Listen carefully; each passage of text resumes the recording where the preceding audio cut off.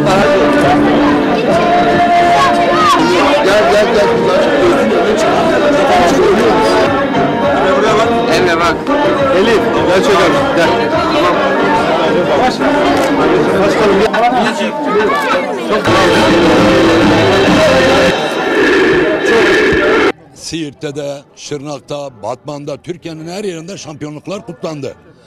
Özellikle Siirt'te kutlanması çok hoşumuza gitti. Nursel Başkanımız şöyle bir şey dedi. Dedi ben dedi seneye 25. şampiyonlukta Allah nasip ederse dedi. Hem Dursun Başkanı getireceğim buraya gelecek bütün çocuklara hepsine dedi forma vermek istiyorum dedim. Dedim başım gözüm üstü. Çok şükür onu da başardı.